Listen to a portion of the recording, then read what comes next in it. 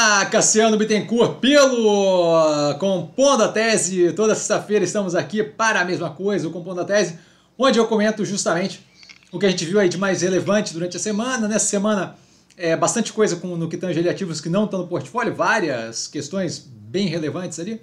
Tá aí uma sequência de podcasts depois justamente para quem quiser é, ampliar ali um pouquinho o conhecimento. Tá? A gente começa, como sempre, com uma, um disclaimer que eu falo aqui nada mais é do que a minha opinião sobre investimento, a forma como eu invisto, não é de qualquer forma, modo em geral, indicação de compra ou venda de qualquer ativo do mercado financeiro.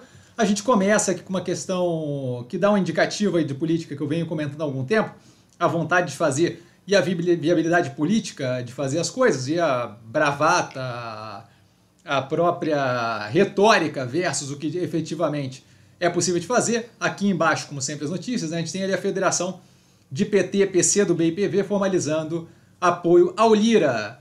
Então, assim, é, volta a reforçar. Quem quer rir tem que fazer rir. Estão tanto o PT quanto o PL do Bolsonaro juntos no apoio à Lira ao comando da Câmara. Tá? E diga de passagem, a gente teve uma votação no, no Conselho é, Misto, se não me engano, do orçamento, onde ninguém do PT foi, foi votou, teve a coragem, a moral, sei lá, a consistência ideológica de votar contra o orçamento secreto. Então, assim, daí a gente vê o que, que é a diferença entre o, o que eu falo para as câmeras, a bravata que eu faço e o que efetivamente vai ser feito no governo, tá? Só para deixar isso claro, acho que essa daí foi uma que a gente já estava aguardando há algum tempo, mas não deixa de ser aí o reforço daquilo tudo, de que a bravata é uma coisa, o que faz-se efetivamente é outra.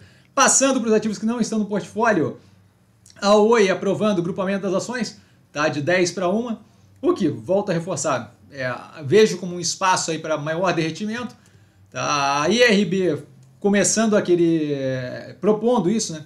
De 30 para uma ações, tá? nesse mesmo movimento de ativo há algum tempo abaixo de um real. É bem mais rápido do que o caso da Oi, mas ainda assim nesse direcionamento que deve não só é, abrir um espaço para derretimento maior, mas também é, causar ainda mais diluição quando ela vier a ter, vamos chamar de si, vai, mas se ela, se ela vier a ter é, necessidade de maior captação, tá, através de um novo follow-on, volta a reforçar cada vez mais problemático a situação aqui, tá? É, dando continuidade a Paranapanema pedindo recuperação judicial, a gente comentou isso acho que uma semana atrás, de que ela não sabia o que estava acontecendo, de que ela não sabia o que estava acontecendo, quando um dos credores pediu é, a recuperação judicial, aparentemente ela descobriu bem rápido o que estava acontecendo e agora pede em caráter de urgência.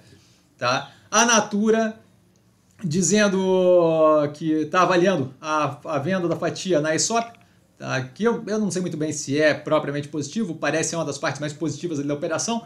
Entendo a necessidade de liberar a capital, não sei se esse seria o caminho melhor possível, mas de qualquer forma é algo para se ter aí, não é um ativo que está no portfólio mas é algo para se ter em vista. E por último, o Cassino fazendo aí o follow-on para venda da fatia dele de açaí, do açaí, que se não me engano já, já foi feito, já está realizado, tá? É, liberando aí mais, é, mais papéis, aí, mais, mais é, ações do açaí a mercado. É, não vejo provavelmente como positivo não, mas é, acaba liberando aí é, volume, tá? acaba liberando uma parcela maior do açaí para justamente poder ser negociado é, acho que a, retirada daquilo dali do grupo Pão de Açúcar é, fez bem para o açaí. Tá? E agora a saída do Cassino, é, não vejo muito por que, que deveria o Cassino ter alguma relevância ali dentro. Tá? Então eles fizeram lá para reduzir endividamento lá fora, de qualquer forma, é, segue. Tá? A gente passa diretamente então para os podcasts. Tá? A gente tem o The Journal com, comentando as origens dos drones é, russos, tá? The Surprising Origins of Russian Drones. Na sequência, falando ali sobre, sobre é, justamente se é iraniano, se não é iraniano, bem legal, bem, bem, bem feito ali. O, esse podcast sempre bem feito, mas esse daqui abordando o assunto de forma bem interessante. O The Journal novamente falando sobre os protestos na China. Tá? E aí aqui é um ponto de vista bem interessante de como é que está acontecendo aquelas coisas, dá uma ideia bem próxima, dado que eles têm é, correspondente lá. E logo na sequência o The Daily com, mesmo, com a mesma coisa, uma visão um pouco diferente, mas também falando dos protestos da China. The Daily do New York Times então, assim, dando mais um aprofundamento para quem quiser conhecer melhor a situação, como está lá. Tá? Na sequência, mais um The Daily, tá falando sobre a Landmark January 6 Verdict, que é justamente a condenação do líder ali do Oath Keepers, que é aquele grupo, a milícia americana envolvida com white supremacists, com supremacia branca e por aí vai. Tá? Então, assim, de, de, eles chamam de nacionalistas americanos, mas bem nazi a, a vibe. Tá? De qualquer forma, bem interessante a análise como um todo do histórico do cara e de como é, se, do, se deu o movimento até a efetiva condenação dele é, por sedition, se não me engano. Tá? Mas de qualquer forma, vale a pena dar uma escutada para quem quiser um pouco, para quem tiver um pouco mais de interesse em política americana, especialmente o que aconteceu em 6 de janeiro, é, pós-eleição do Trump. Tá? É, e aí 6 de janeiro, dois anos atrás, se não me engano, tá? 2020. Tá? O, para fechar, o Moura Brasil, o Felipe Moura Brasil, falando justamente sobre a relação do Lula e do Bolsonaro com o orçamento secreto. Tá? E aí, tanto de um lado, a vibe do Bolsonaro dizendo que ah, não tinha muito o que fazer não tinha muito como evitar, e agora bloqueando o orçamento secreto, quanto o Lula dizendo que é ultrajante, é o fim do mundo, mas claramente indo numa direção de que vai abraçar a coisa como um todo.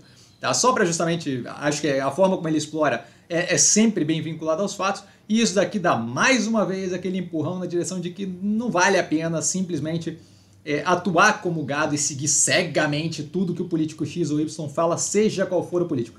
Certo? Visão crítica é algo sempre positivo. E por hoje ficamos por aqui, um pouquinho mais curto, tá? Não muito a explorar ali, bem mais vinculado o noticiário como um todo, né? As notícias como um todo, a, coisa, a Copa e a política, bastante política. Tá? O Brasil ainda para na Copa, então assim, é, eu hoje, eu, essa semana, por exemplo, tive, tive a chance de malhar sozinho um dia na academia quando teve o jogo do Brasil, se não me engano, segunda-feira. Tá? Então, assim, de fato, a coisa alivia um pouco. Precisando de mim? Tô sempre no arroba vestir com sim no Instagram do canal. Só ir lá falar comigo, não trago a pessoa amada, mas sempre tá tirando dúvida. Tá? E vale lembrar que quem aprende a essa bolsa opera como mero detalhe. Um grande beijo a todo mundo e até amanhã com análise, é, movimentos da semana no domingo e por aí vai. Agora aliviando um pouquinho o ritmo, dado que a gente estava no ritmo bem forte. E eu justamente aproveito esse momento agora para pegar mais na parte conceitual do canal e aí a gente deve ter mais BEM saindo, a gente deve. É, tô, tô, tô, tô pensando aí em coisas para justamente evoluir o canal nesse, nessa intratemporada de balanços, tá? Para justamente rechear mais esse momento, não ficar só na coisa da análise contínua mesmo de resultados mais antigos, tá? Grande beijo a todo mundo, valeu galera!